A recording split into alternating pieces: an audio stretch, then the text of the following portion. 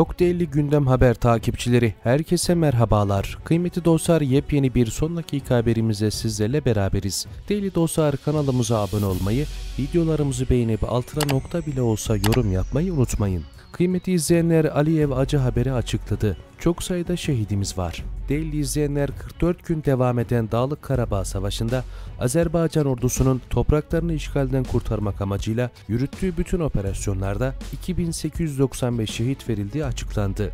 Değerli izleyenler elimize gelen bir son dakika bilgisine göre Azerbaycan Savunma Bakanlığı tarafından bir açıklama yapıldı. Yapılan açıklamaya göre 27 Eylül 2020 tarihinde başlamış, 10 Kasım 2020 tarihinde Ermenistan'ın pes etmesiyle beraber anlaşmaya imza atılmasıyla her iki tarafta sulha kavuşmuştu. Daha önce 2881 olarak açıklanan şehit sayısının bazı cenazelerin bulunması, kimliklerin belirlenmesiyle beraber 2895'e ulaşıldığı ifade edildi.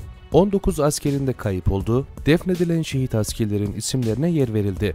Kıymetli takipçilerimiz Azerbaycan ordumuz 27 Eylül 2020 tarihinde başlattığı operasyonda 5 tane kent merkezi, 4 tane kasaba, 286 tane köy kurtarmış.